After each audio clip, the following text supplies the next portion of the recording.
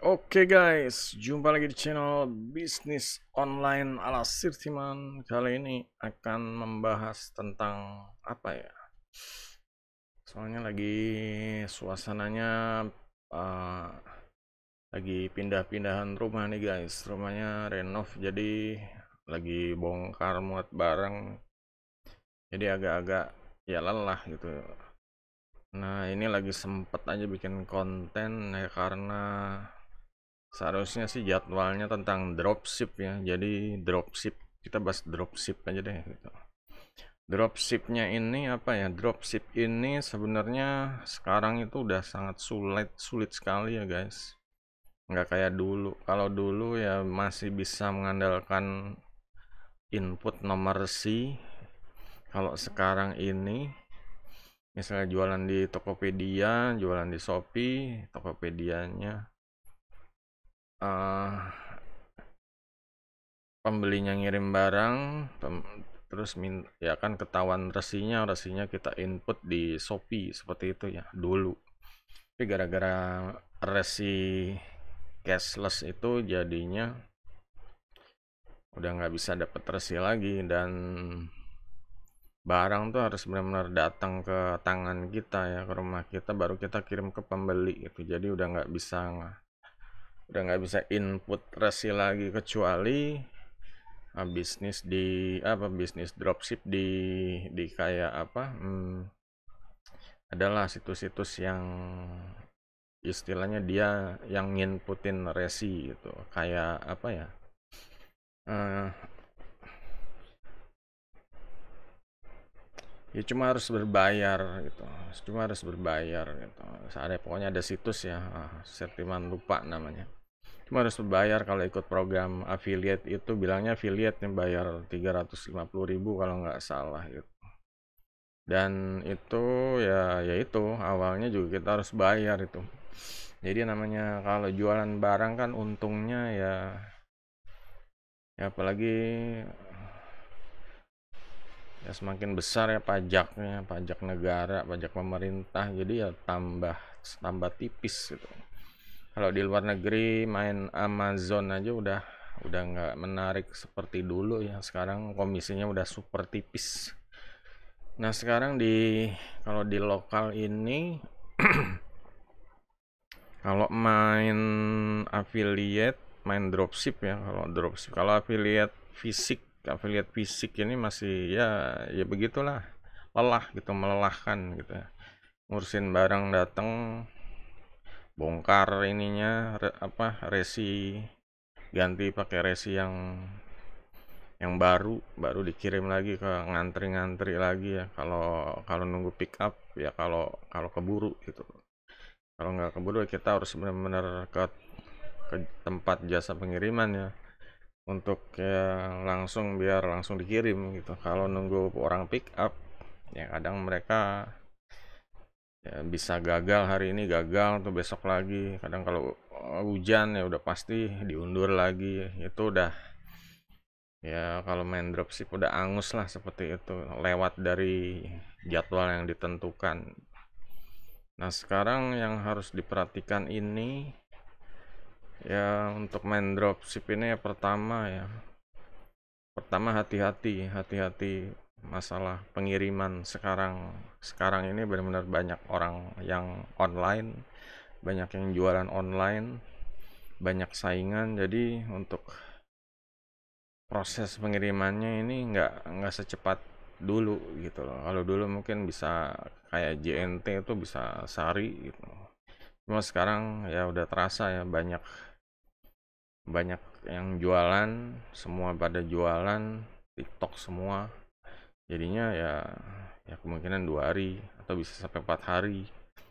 Nah juga kalau untuk kalau untuk yang instan namanya dropship ya kalau instan ya ini seller nih bukan dropship lagi seharusnya.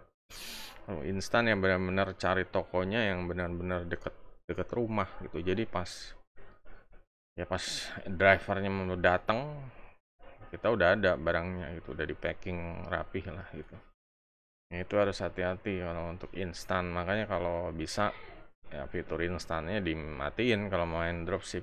Kalau enggak ya bakalan dikejar-kejar setoran seperti itu. Nah untuk masalah selanjutnya itu dropship itu ya selain udah nggak ada cashless ya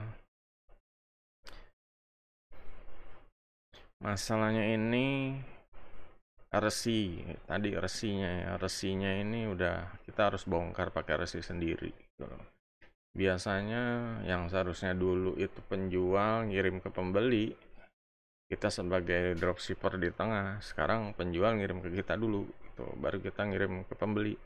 Nah kalau penjual ngirim ke kita ya pas udah barang diterima transaksi habis resinya udah kelar gitu nah sekarang kita urusannya ngirim ke pembeli.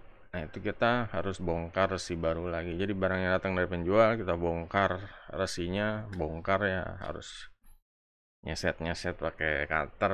Ya pokoknya gimana caranya ditutup lagi. Entah itu ya pokoknya ditambal lagi ya paketnya. Ya seperti itu.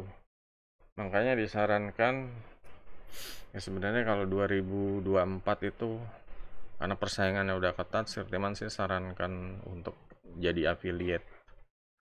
Nah kalau bisa sih affiliate produk digital sekalian ya biar ya biar nggak capek gitu loh. Emang lebih ini sih lebih ya lebih sulit karena emang ya banyak orang belum terbiasa ya. Dan ya orang masih umumnya belanja online itu ya sekitar produk fisik. Tapi produk digital juga ya macam-macam ya. Macam-macam ada in produk informasi informasi yang murah ada produk bundle terus ada produk yang membership atau produk yang ya spesial VIP lah seperti itu. Itu masih bisa potensial seharusnya.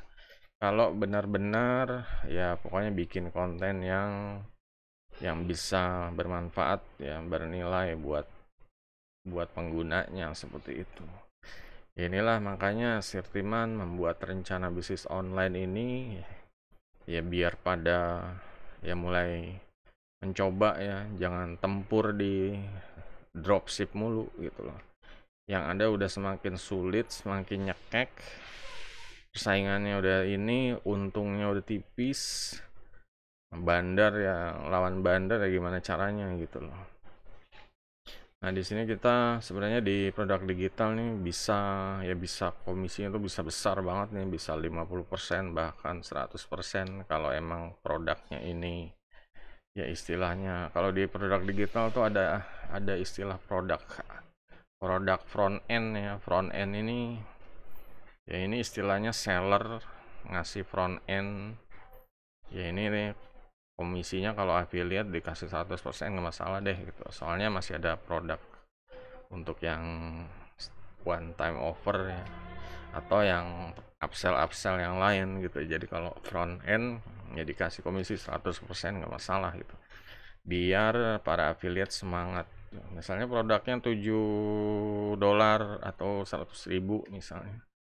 Affiliate dikasih komisi langsung 100% ya kalau ada yang laku dapat 100% gitu.